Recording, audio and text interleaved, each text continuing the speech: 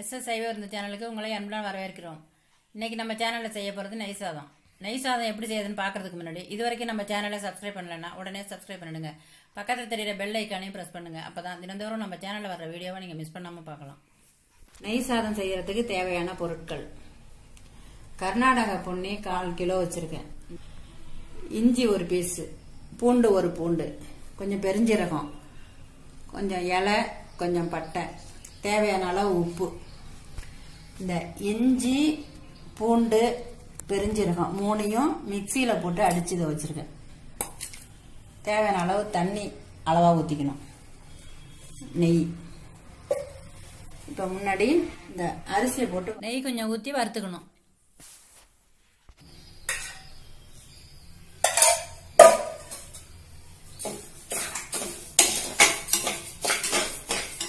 லேசா பொரிச்சுக்கிட்டா போதும். லேசா அரிசி வந்து பொரியற அளவுல வரும். அது மாதிரி இருக்கும்போது எடுத்துடலாம். இதுக்கு வந்து ஒரு கொத்து புதினா போடணும். அரிசி வந்து பொரிஞ்சு போச்சு. இத ஒரு பாத்திரத்துல எடுத்து வச்சுக்கணும். இஞ்சி பூண்டு பெருஞ்சீரகம் மூணையும் மிக்சியில் போட்டு அடிச்சு வச்சிருந்தேன். அதனால இந்த டம்ளரால ஒரு டம்ளர் தான் அரிசி வச்சிருக்கேன். அதனால ரெண்டு டம்ளர் நான் தண்ணி ஊத்துறேன். பத்தலைன்னு சொன்னா அப்புறம் கொஞ்சம் ஊத்திக்கலாம்னு சொல்லிட்டு நான் ரெண்டு டம்ளர் உண்டையும் ஊத்துறேன். அதுல ஒரு டம்ளரை இந்த இஞ்சி பூண்டு விழுதுல ஊத்திருக்கேன். அப்படியே வடிகட்டிக்கணும்.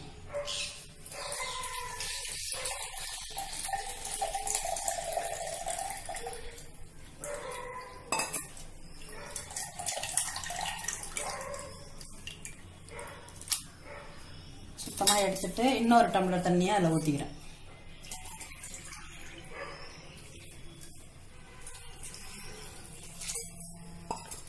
இது நல்லா அப்படியே கசக்கி இதில் இருக்கிற பாசனை எல்லாம் இந்த தண்ணியில் வந்துடும்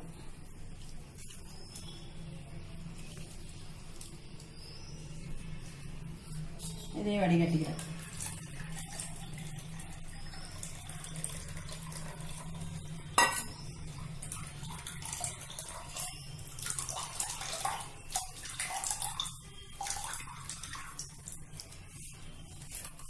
இதில் வந்து இப்போ ரெண்டு டம்ளர் தண்ணி வச்சுருக்கேன். அடுப்பில் எந்த பாத்திரத்தில் நம்ம செய்கிறோமோ அதாவது கனமான பாத்திரம் நான் அந்த குக்கர் தான் வைப்பேன்னு உங்களுக்கு தெரியும். இந்த பாத்திரத்தில் நெய் உங்களுக்கு எவ்வளவு நெய் தேவையோ அந்த நெய்யை நீங்கள் விட்டுக்கலாம். அதனால எங்களுக்கெல்லாம் நெய் நிறைய உதவாது. அதனால நான் கொஞ்சம் கொஞ்சம் ஊற்றி செய்கிறேன் நீங்கள் வந்து உங்களுக்கு அளவுக்கு எவ்வளோ சாப்பிட்றதுக்கு தேவையோ அவ்வளோ நீங்கள் ஊற்றிக்கலாம்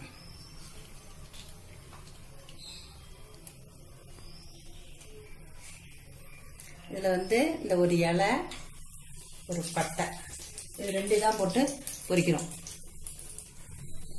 இலையும் பட்டையும் பொரிஞ்சிருச்சு. பொரிஞ்சோன்னா இந்த வடிகட்டின தண்ணியை இதில் ஊற்றிடும் ஊற்றி தேவையான அளவு உப்பு போட்டுக்கிறோம்.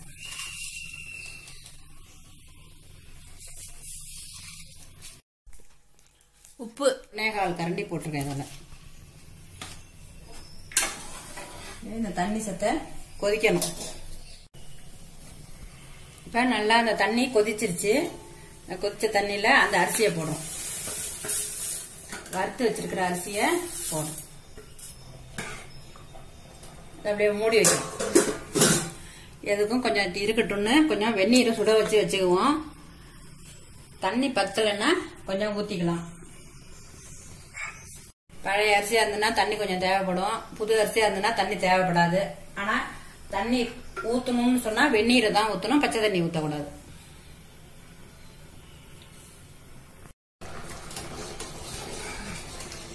இப்போ வந்து நெய் தான் அரை பேக்காட்டில் இருக்கு. இப்போ வந்து நம்ம என்ன செய்ய போறோம்? அடுப்பை வந்து சிம்மில் வச்சுக்க போறோம். ஒரு ரெண்டு கரண்டி நெய்யை அதில் ஊற்றிக்கிறோம் அப்படியே இதை மூடிடும் மூடிட்டு அப்படியே தம் பண்ணிடும்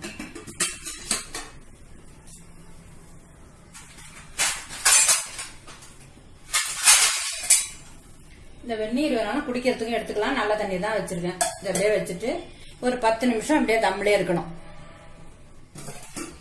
வந்து ஒரு அஞ்சு நிமிஷம் கழிச்சு திறந்து பார்க்கணும்.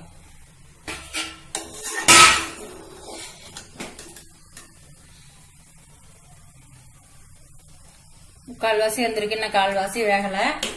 அப்படிங்கிறதுனால இன்னும் ஒரு அரை டம்ளர் தண்ணி தேவைப்படுது வெந்நீர் சுட வச்சு வச்சிருக்கோம் இல்லையா? அதுல ஒரு அரை டம்ளர். இதுல ஊத்திடணும். பச்சை தண்ணி ஊத்திடாத கூடாது வெந்நீர் தான் ஊத்தணும்.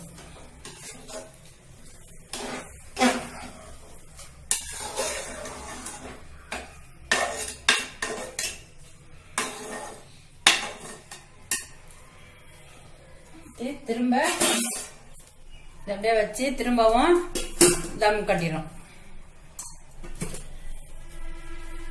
இப்ப இன்னொரு அஞ்சு நிமிஷம் இது வேகட்டும். அஞ்சு நிமிஷம் ஆயிடுச்சு. இப்ப வந்து அதை திறந்து பாக்குறோம்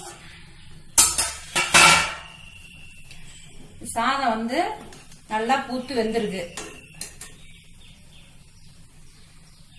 நல்லா குழவா வெந்திருக்கு. அடியும் பிடிக்கல. அடி சாதத்துல இருந்து நல்லா வெள்ளையவே தான் இருக்கு.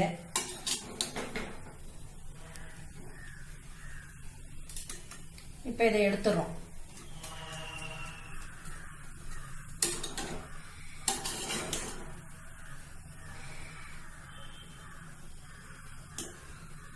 ரெண்டு தான் வறுத்து போட்டோம். இது ரெண்டையும் எடுத்துட்டோம். இந்த புதினா எடுத்து வந்து வச்சிருக்கோம் இல்லையா? இந்த இந்த புதினாவை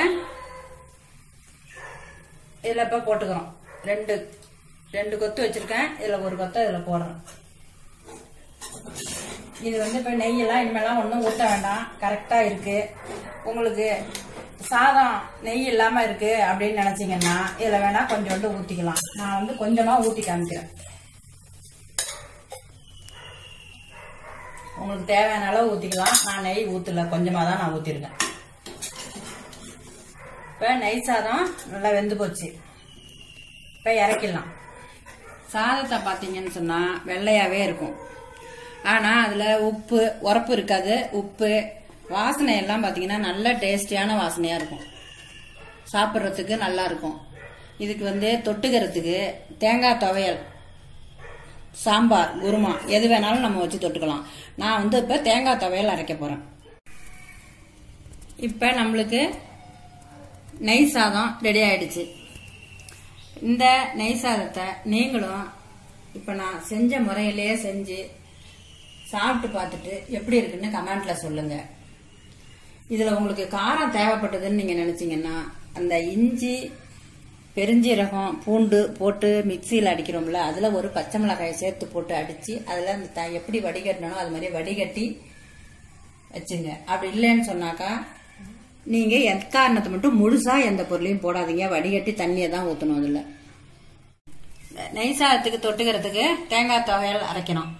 தேங்காய் கீரி அரை மூடி தேங்காய் கீரி போட்டிருக்கேன். ஒரு கொத்து கருவேப்பிலை கொத்து போட்டிருக்கேன். ஒரே ஒரு பச்சை மிளகாய் போட்டிருக்கேன். பொட்டுக்கடலை கையால் ஒரு பிடி போட்டிருக்கேன்.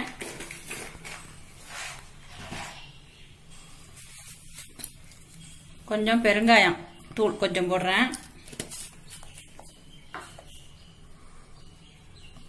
தேவையான அளவு உப்பு அரை ஸ்பூன் போட்டிருக்கேன். இதை வந்து அப்படியே எல்லாத்தையும் சேர்த்து கொஞ்சம் தண்ணி விட்டு துவையெல்லாம் அரைச்சிக்கணும். நெய் சாதத்தோட கூடிய தேங்காய் துவையலும் ரெடி ஆயிடுச்சு. இந்த நெய் சாதம் தேங்காய் துவையலை நீங்களும் வீட்டில் செஞ்சு சாப்பிட்டு பார்த்துட்டு எப்படி இருக்குன்னு கமெண்ட்ல சொல்லுங்க. இந்த வீடியோ உங்களுக்கு பிடிச்சிருந்ததுன்னா லைக் பண்ணுங்க. ஃப்ரெண்ட்ஸுங்களுக்கு ஷேர் பண்ணுங்க. இது வரைக்கும் நம்ம சேனலை சப்ஸ்கிரைப் பண்ணலன்னா உடனே சப்ஸ்கிரைப் பண்ணிடுங்க. பக்கத்தில் தெரியல பெல் ஐக்கானையும் பிரஸ் பண்ணுங்க. அப்பதான் தினந்தோறும் நம்ம சேனல்ல வர வீடியோவை நீங்க மிஸ் பண்ணாம பார்க்கலாம். நன்றி வணக்கம்.